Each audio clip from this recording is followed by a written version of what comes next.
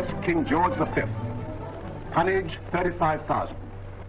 Armament 10 14-inch guns, 16 5.25 multiple pom-poms, and other anti-aircraft weapons. Complement 1,500. Now what do these facts tell us? First, that a battleship is a gigantic seagoing gun platform. Second, that 1,500 men are required to steam the ship and keep her guns firing. In this picture, you will see what sort of lives these men lead, how and where they sleep, eat, work, and pass their spare time. When she is in harbor, stores are taken aboard. For weeks on end, this seagoing community has to be entirely self-supporting. Food and drink for the men, fuel for the engines, munitions for the guns must be stored away. Meanwhile, deep down in the ship, there are jobs to be done that cannot be carried out at sea. In the boiler room, men enter the boilers to scrub the boiler tubes, through which water, transformed into steam, circulates to provide the ship's driving power. In harbor, the evaporator tubes are taken out for cleaning. At sea, salt water is sucked into these evaporators and distilled into fresh water. And from time to time, the salt deposit has to be removed. Maintenance work is done to the engines. In the middle of the morning, there's a stand-easy period. Some of the men visit the pay office. As much as 15,000 pounds in cash is carried aboard a battleship. It's used for such things as foreign harbor dues, pilotage, local stores, and sometimes fuel. The department also acts as a post office and savings bank. Whenever the ship touches port, mail from home is distributed.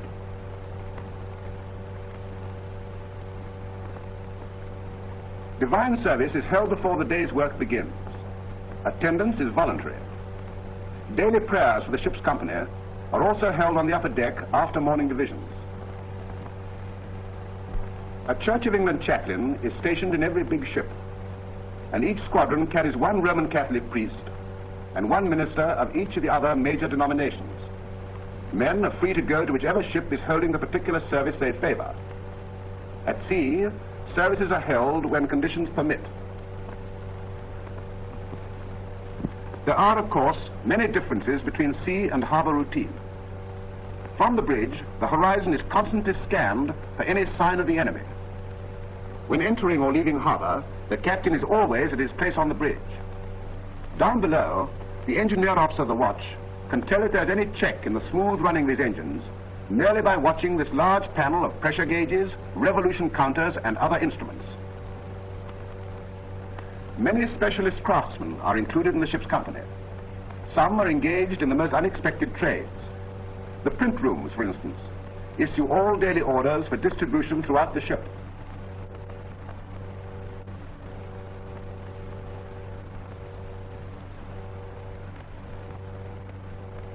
In the darkroom, there is all the equipment necessary for developing and processing the photographs taken from the ship's reconnaissance plane.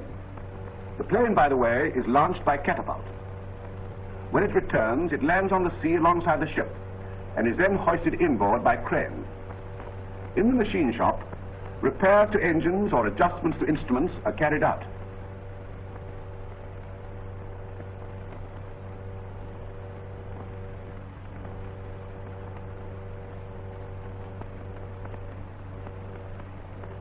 Providing food and drink for the crew of a battleship is a job for catering experts. Rum is the Navy's traditional drink. It is usually served at midday. The ration is drawn by the leading hand of each mess, and distribution is checked by the ship's supply petty officer, who makes sure the correct amount is issued according to the number of men in the particular mess. The ration is one-eighth of a pint per man, diluted with twice the amount of water. When it is so mixed, it is called grog. The rum in the barrel is already diluted. The ship has its own bakery, which supplies crisp new loaves every day. And each day, 1,000 pounds of flour are used to make 1,300 pounds of bread. The food is cooked in several galleys. Don't forget, there are 1,500 men aboard, as many as could be accommodated by the largest hotels on land. Mincing machines and potato slicers are among the modern kitchen equipment aboard. Between four and 5,000 meals are served daily.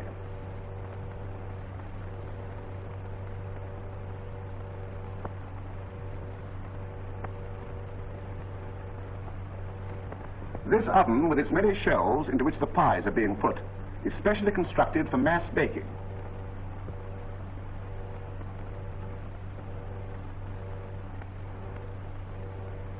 Before the meal is served to the men, it has to be approved by an officer. This is part of the paymaster commander's duties. He carefully samples all the dishes, including the soup.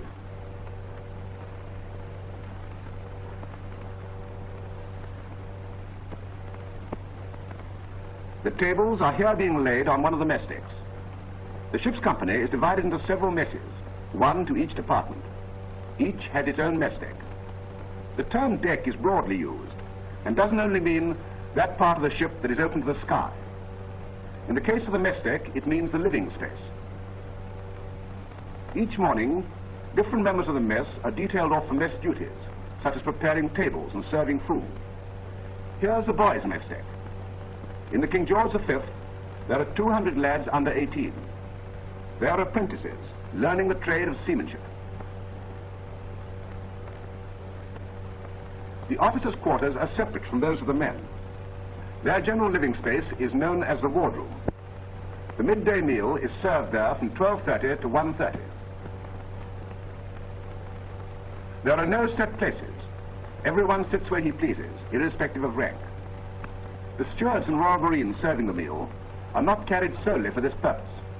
When the ship goes into action, they have other vital work to do, as you'll see later.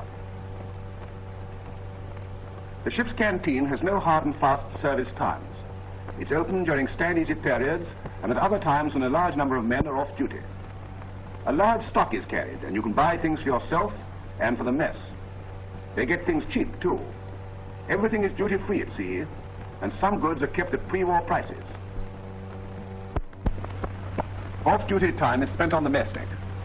There's not much room in this floating gun battery, but there's plenty of choice of pastimes and hobbies. The interior of the ship is air-conditioned. Air is driven by fans through trunking to all parts, and the temperature thermostatically controlled. It takes 300 miles of cable to circulate electric current throughout the ship, and 5,000 electric light bulbs are used. Sailors are traditionally clever with their hands and patient model makers.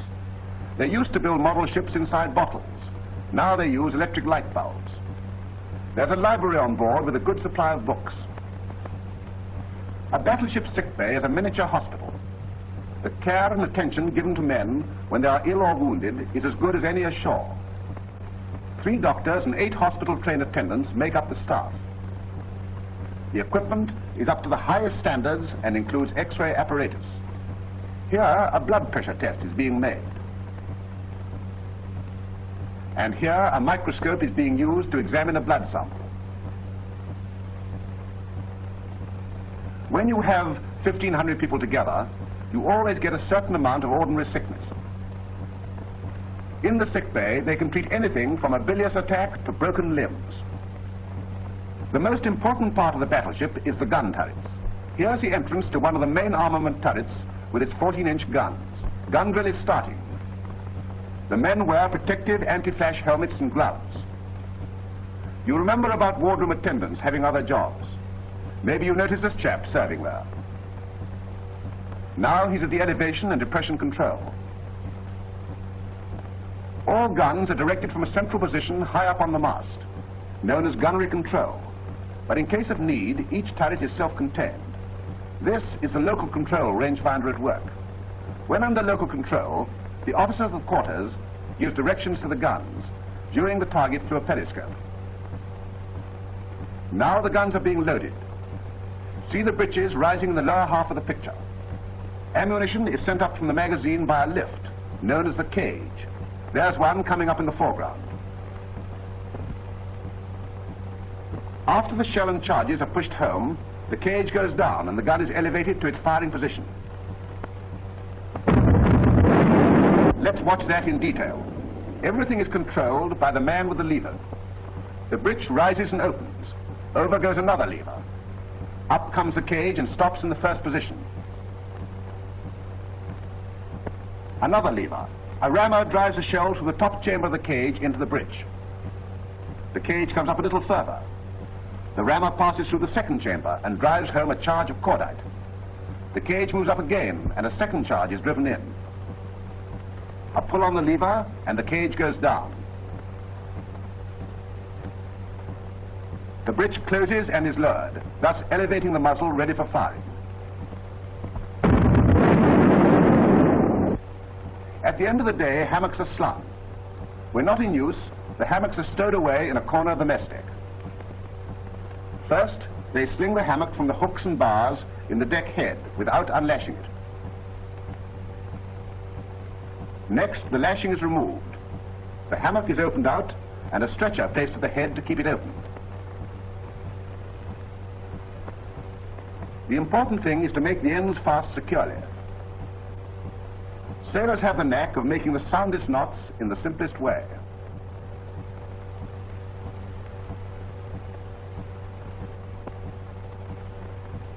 A wash before turning in. Hot and cold water is laid on, and for those who wish, there are showers.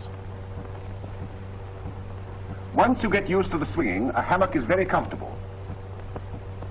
Now that is a fairly comprehensive view of routine life on board a battleship. But there's one side of it we haven't shown. The dangers and risks of war. On any day at any time may come the call to action. It will probably come through the Central Communications Office, the nerve center of the ship.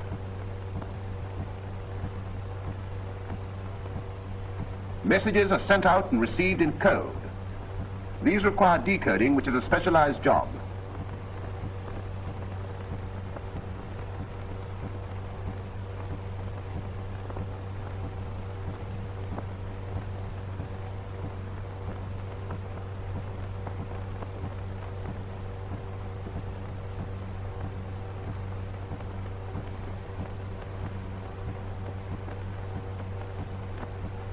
Message is sent through a pneumatic tube to the officer concerned, in this case, the Admiral. A staff meeting is in progress when the message is brought in by his secretary.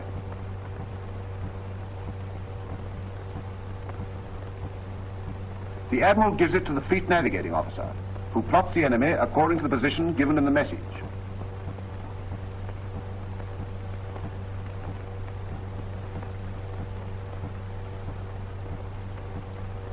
A staff officer writes at the Admiral's dictation the signal which is to be transmitted to the other ships of the fleet.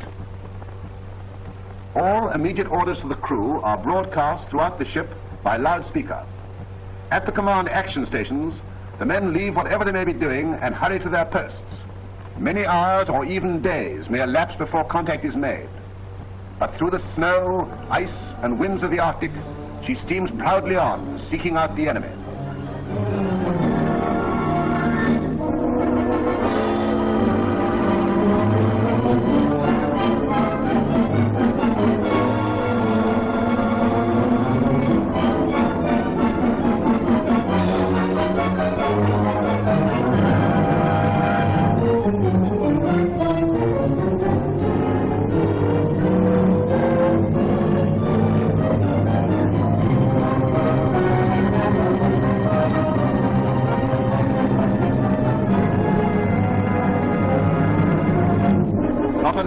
Sail the seas. With her go aircraft carriers and other mighty men of war.